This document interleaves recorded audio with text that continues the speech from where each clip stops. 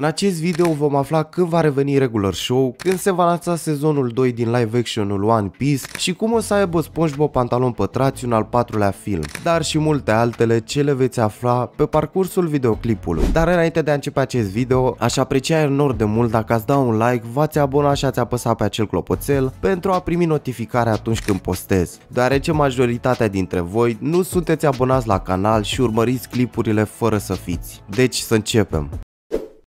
Regular Show este o serie creată de J.G. Quintel. Seria îi prezintă pe Mordecai Rigby și colegii lor de muncă Skip, Tataie Musculosul, Fantoma Bate Palma și șeful lor Benson. Toți lucrează ca îngrijitori de teren într-un parc local. Ei bine, deși detaliile referitoare la o posibilă continuare au fost puține și rare, la începutul acestui an s-a confirmat că se va reveni cu o nouă serie. În ultimele zile, viitoarea serie și-a păstrat multe secrete, însă o nouă listă de locuri de muncă ar fi putut dezvăluită nu numai titlul noii serii Regular Show, ci și la ce s-ar putea aștepta fanii seriei de la mult așteptata revenire a lui Mordecai și Rigby. Deși Regular Show a avut un final definit, având în vedere popularitatea continuă, Regular Show după încheierea seriei nu ar trebui să ne mire că acesta va reveni. Momentan nu s-a aflat o dată de lansarea seriei. După succesul masiv al filmului Incredibilii 2 din 2011, care a încasat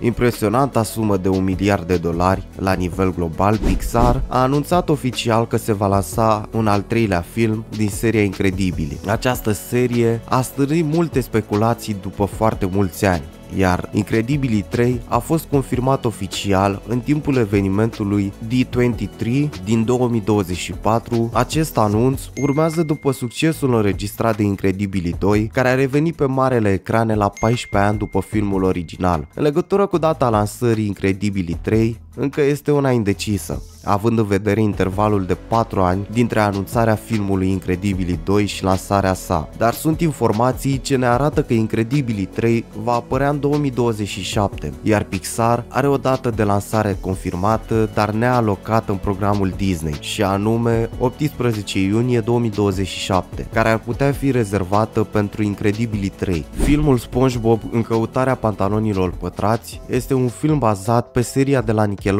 SpongeBob Pantalon Pătrați. În acest film SpongeBob merge în cel mai adânc loc al oceanului, unde se va confrunta cu olandezul zburător. Dezvoltarea unui al patrulea film principal SpongeBob a început în februarie 2022, așadar în aprilie 2023, în timpul prezentării de la CinemaCon al Paramount Pictures, a fost anunțat că se va lansa filmul intitulat SpongeBob în căutarea pantalonilor pătrați. The SpongeBob Movies Search of Square Pants este programat pe 19 decembrie 2025 de Paramount Pictures. Acesta a fost programat anterior pe 23 mai 2025, dar a fost amânat pentru 19 decembrie 2025. Episodul 21 din cel de-al șaptelea sezon al animeului My Hero Academia a apărut și a anunțat că următorul sezon al animeului va fi sezonul final. Sezonul final este programat să debuteze în 2025. Al șaptelea sezon al animeului a fost fost anunțat după încheierea celui de-al șaselea sezon în martie 2023. Kyokei Horikoshi a lansat seria manga în Weekly Shonen Jump în iulie 2014 și a încheiat-o pe 5 august. Stranger Things Tokyo este un spin-off anime al popularului serial Stranger Things. Acțiunea are loc în anii 80 în Tokyo și urmărește doi frați gemeni pasionați de jocuri video care ajung accidental în Upside Down, declanșând o aventură plină de pericole și mistere. Spre deosebire deosebire de seria originală,